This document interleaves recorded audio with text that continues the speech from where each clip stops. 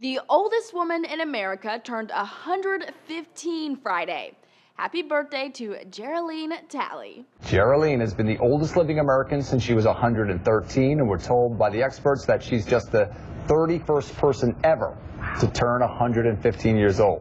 According to the Detroit Free Press, Talley will celebrate her big day with a trip to the doctors for a checkup, although she says she's not feeling sick. So, what's her secret? Simple. Treat others the way you want to be treated. But she also told the paper, it's all in the good Lord's hands. There's nothing I can do about it. How do you feel, Mama? Being, being the oldest American.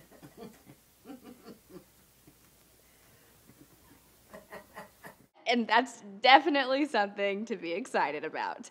Talley is a super centenarian, a title reserved for people 110 years or older. According to the Gerontology Research Group, there are just 74 valid super centenarians living in the world, and only about one in every 5 million Americans grows old enough to earn the title. And in case you haven't done the math yet, Talley was born in 1899 for some perspective, that was just 34 years after the end of the Civil War. Can you imagine all that Jeralean Talley has seen in her 115 years?